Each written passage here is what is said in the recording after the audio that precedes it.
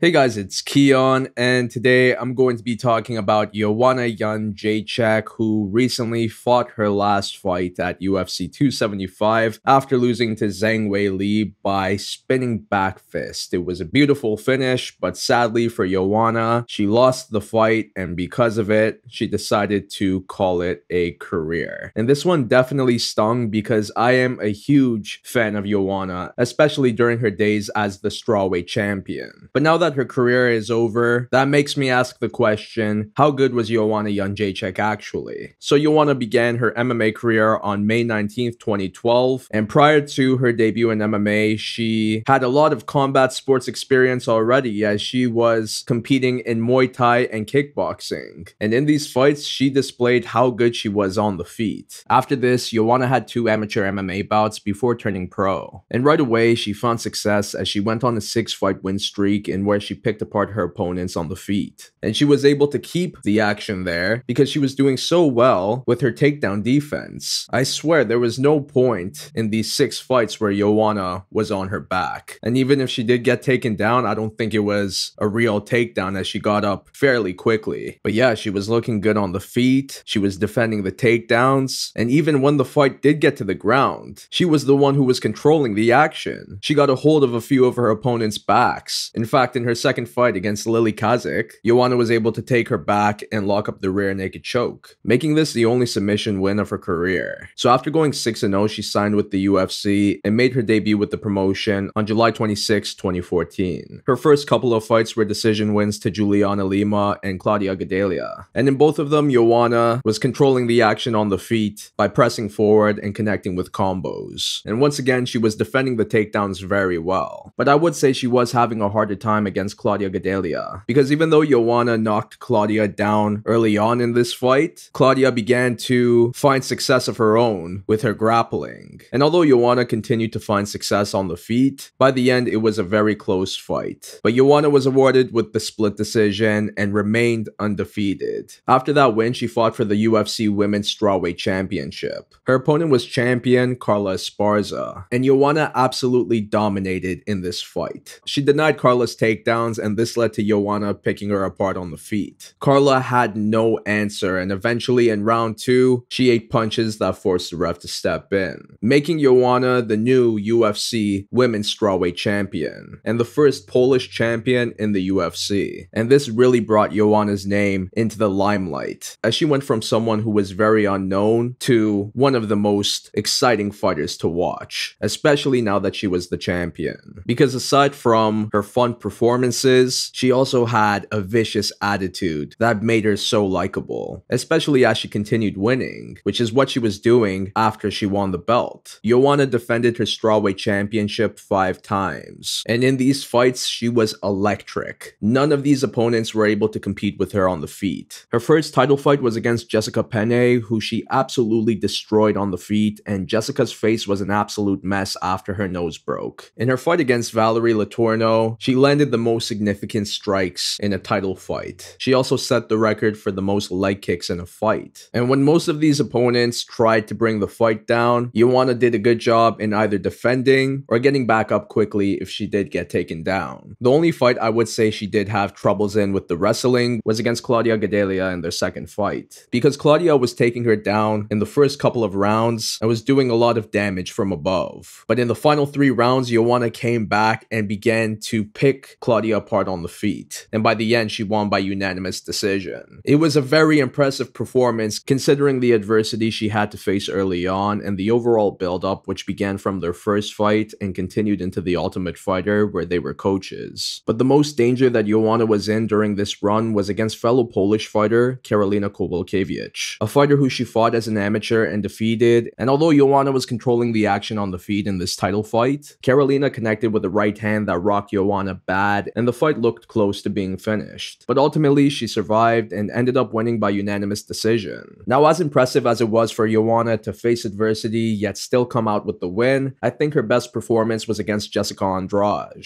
because Jessica was also dangerous on the feet, but more so with her knockout power. So throughout this fight, she was pressing forward and was trying to look for the big shots to land. But Joanna did so well in evading all of her attacks, and in return, she connected with some nice counters. And if Jessica wasn't rushing in, Joanna did very well in attacking from the outside. It was very reminiscent to a bull and a matador, with Joanna being the matador. And by the end, she won by unanimous decision. So after this dominant performance, Joanna was at the top of the women's strawweight division. It truly seemed like no one was going to stop her anytime soon. And if she defended her belt one more time, she was going to tie Ronda Rousey for the most title defenses in women's MMA in the UFC. So the stakes were high, but many believed she was going to do it, especially with her next opponent being Rose Namajunas, who was a 6 and 3 fighter, and although she was very solid, many believed that she wasn't ready to be fighting for a UFC championship, especially against someone like Joanna. But Rose shocked the world as she finished Joanna in the first round with punches, handing Joanna her first defeat. Now this was devastating, but with how long of a champion Joanna was,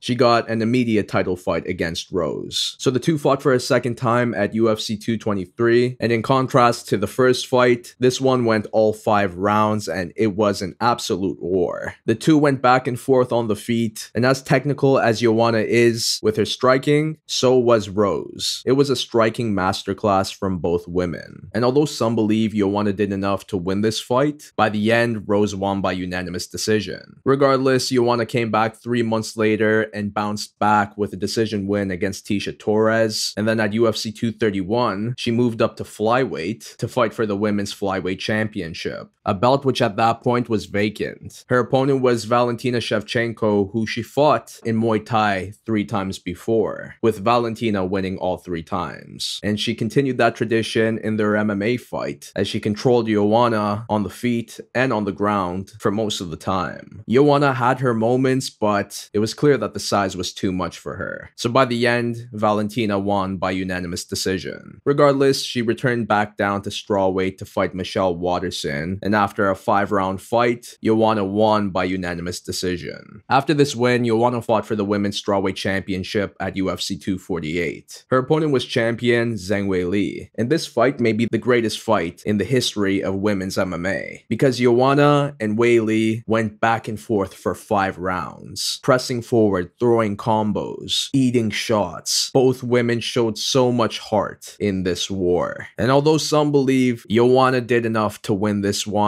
by the end, Weili was awarded with the split decision. After this brutal fight, Joanna was out for two years. Some of it was for recovery, some of it was to enjoy life and have fun, and some of it was because she didn't want to fight without a crowd. Because during the pandemic, they were having most of their fights at the Apex, and she didn't want to do that because she wanted to fight in a stadium full of fans. But another reason was also because of contract negotiations. She wanted more money. She had been vocal about making good money outside of fighting. So I feel like that also was a reason for her long layoff. Regardless, she finally came back at UFC 275 to fight Weili Zhang for a second time, but this time it wasn't for the strawweight championship. But it was clear that it was a number one contender bout. And much like their first fight, these two went back and forth. And although Joanna had her moments on the feet, so did Weili, who was also mixing in takedowns and doing damage from above. But overall, it looked like it was going to be three rounds of high paced back and forth action. But in round two, Weili connected with a spinning back fist that knocked Joanna out. And with this defeat, Joanna began to take her gloves off and announced in her post fight interview that she was going to retire from MMA. Because as much as she enjoyed fighting, she also enjoyed her life outside of it. She's making money outside of fighting. She wants to start a family. And with her turning 35 soon, I think this was the right decision for Joanna to make for herself. So after going 16 and 5 in a career that saw her become the UFC Women's Strawweight Champion, how good was Joanna Jędrzejczyk actually? Personally, for me, she is one of my favorite fighters in MMA history. In her prime, she was such an exciting fighter because not only was she very good, but she also had the persona. Now, in terms of fighting, of course, she was a striker first. Her Muay Thai and kickboxing background transitioned perfectly into MMA. In fact, I would say she was probably one of the most technical strikers in the early days of women's MMA in the UFC. There wasn't really many fighters like her who would pick their opponents apart so technically. Her pressure on the feet was intimidating. She would press forward with combos at a high volume. She would mix punches and kicks so effortlessly and would attack every part of the body. And in the clinch, she did well in connecting with brutal knees and elbows. And she was able to do this for all five rounds because her cardio was superb. And to add to that, she was a tall and long strawweight. She used her size advantage a lot in her fights as she would pick her opponents apart from afar, press forward with ease, or counter if they come forward. And this was all effective due to her footwork and overall speed. In every facet of the striking department, she was better than most of her opponents. And the reason why her Muay Thai and kickboxing transitioned so well into MMA was because of her amazing takedown defense. She defended her opponent's takedowns very well, and because of it, she forced the action to stay on the feet. And even if they did take her down, she'd pop back up right away. Even in the clinch, she was very good because she was able to implement her striking while there, but was also able to defend the takedowns as well, which a lot of her opponents tried to do while in the clinch. And although she didn't have that one shot knockout power,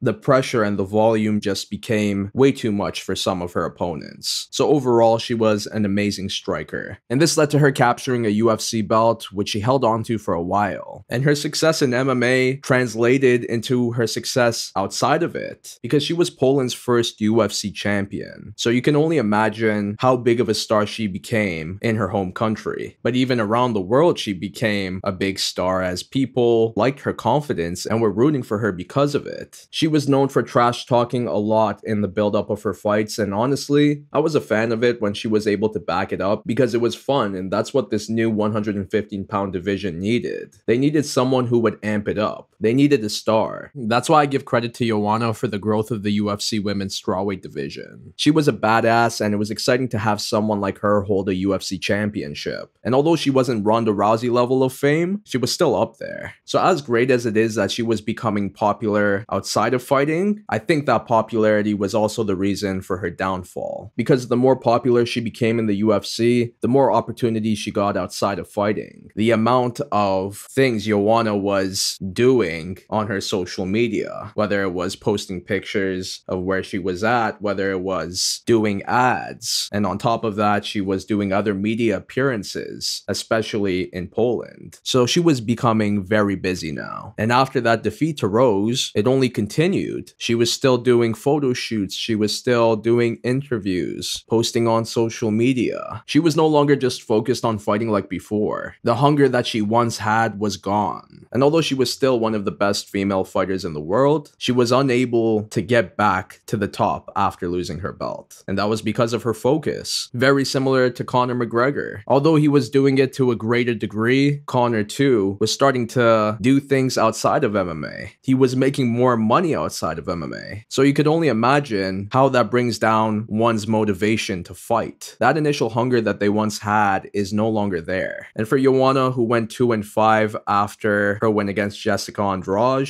it was clear that her head wasn't fully in MMA anymore. But look, I'm not shaming her for that at all. In fact, I'm happy that she was able to find a way to make money outside of fighting. I'm always happy for a fighter who does that. And look, in the end of the day, although she went 2 and 5 in her last 7 fights, those 5 defeats were to the very best fighters. And even some people right now are saying that Joanna doesn't have to retire yet. She can still continue. But in my opinion, it's clear that Joanna's motivation for fighting is no longer here, especially now that she wants to become a mother. And with her being a successful businesswoman now, there truly isn't any point to fight if it's not to become the champion. And who knows how much she changed as a fighter after her first fight with Weili, because that was one of those career altering fights. And it was a reason why Joanna was on the sidelines for two years. So whether it was all the damage accumulated in that war, or ring rust, or a mix of both, maybe Joanna just simply doesn't have it anymore. So alongside her business ventures outside of fighting, I agree with Joanna's decision to retire. And now that it's done, I can say that right now, I still consider her to be the greatest female strawweight fighter in MMA history. Because although Rose Namajunas